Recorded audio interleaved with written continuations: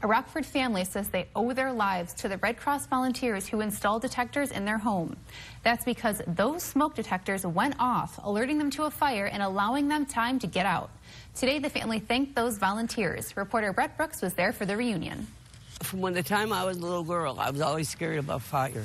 At 2:45 a.m. on September 3rd, Doreen McCullough woke up to her worst nightmare. And this is the first time I've ever been in a fire.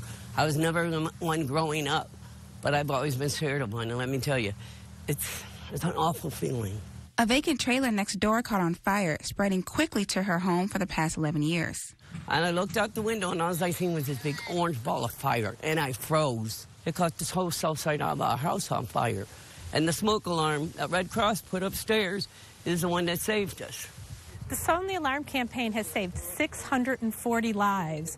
Um, and we will add to that with Doreen and her family, the McCullough family, since it started three years ago. These two Red Cross volunteers installed the smoke detector that went off that night, saving the lives of everyone inside.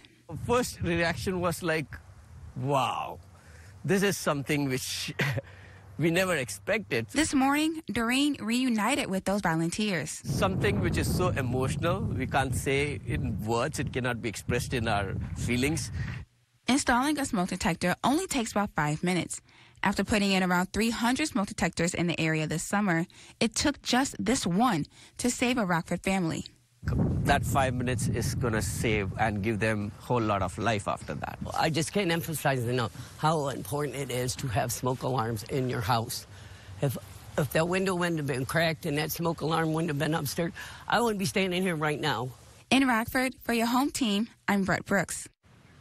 Doreen says her daughter heard the alarm first, allowing them to get out in plenty of time.